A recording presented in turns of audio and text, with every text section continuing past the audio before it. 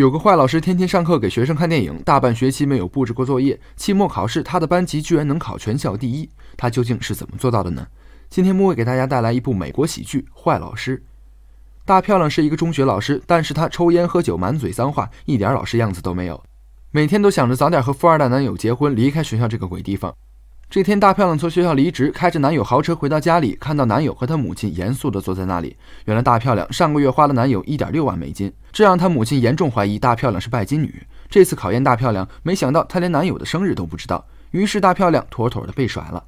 三个月后，大漂亮开着小破车再次回到学校。失去饭票的大漂亮完全无心教学，竟然直接在课堂上放起了电影。下课后，同学打闹，她也完全不理。这天，大漂亮在走廊看到一个戴名表的老师，这让她一下子来了兴趣。一番打探下来，她发现这个老师是个刚分手的富二代。为了迷倒这个富二代，她打算去做个整形，提升自己的魅力。可是九千三百美元的费用，她完全支付不起。于是她开始打电话借钱，可是半天下来一分钱也没弄到。没办法的她只好打起了学校废品的主意。家长会上，她还发现可以从家长手里收补课费。这天在学校，她从班长那里得知学校要举办一个洗车活动。上一次活动中有人赚到了六千美元，这让大漂亮眼前一亮。活动当天，她穿着火辣的衣服来到现场，这吸引了许多人来这里洗车。大漂亮也是赚了不少。这一切让她的死对头黄发妹老师看到了，她跑到正在上厕所的校长跟前告状，但一心大号的校长完全听不进去。离开的黄发妹只好换个角度对付大漂亮。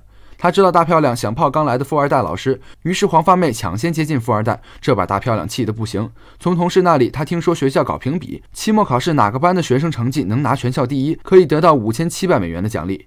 大漂亮一想，有钱把自己魅力提升起来，自己还怕泡不到富二代吗？第二天，他给班上来了个测试，想要摸摸底，但天天看电影的学生们根本啥也不会，这把大漂亮可急死了。于是他把主意打到了考试题上。大漂亮打扮成律师，假借有人控告出题人，成功约到了试卷出题方，接着把对方灌醉，来到办公室里，成功偷走了试卷的考题。紧接着，一场针对考试的集训开始。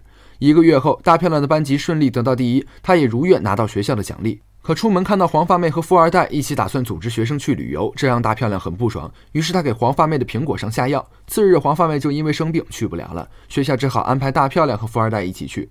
气愤的黄发妹趁大漂亮不在，调换了她的办公桌。在这里，黄发妹看到了试题的答案，她立马找到出题人核查，并且还去校长面前告状。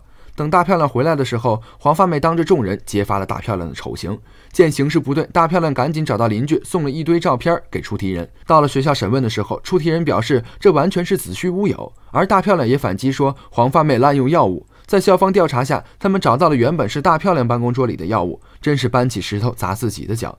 这下校方不得不调走黄发妹了。经历了这一切，大漂亮也开始反思自己到底是要钱还是爱情。于是她拒绝了富二代老师的示好，开始尝试和追求自己很久的体育老师相处起来。